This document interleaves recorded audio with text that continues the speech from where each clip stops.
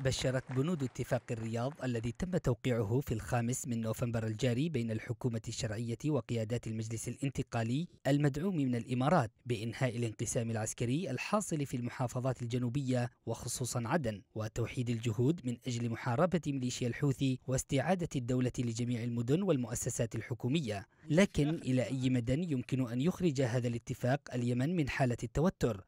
وكيف يمكن أن تنجح حكومة المناصفة في إنهاء حالة الانقسام السياسي والعسكري. فبعد مرور نحو عشرين يوما وصلت إلى عدن يوم أمس الجمعة لجنة عسكرية تضم ضباطا في وزارة الدفاع وبرئاسة قائد لواء النقل العميد أمجد خالد القحطاني. وكما هو في اتفاق الرياض الذي رعته السعودية والإمارات فإن مهام اللجنة هي سحب السلاح الثقيل من معسكرات المجلس الانتقالي وضم قواتها إلى وزارتي الداخلية والدفاع. ونقلها إلى جبهات القتال.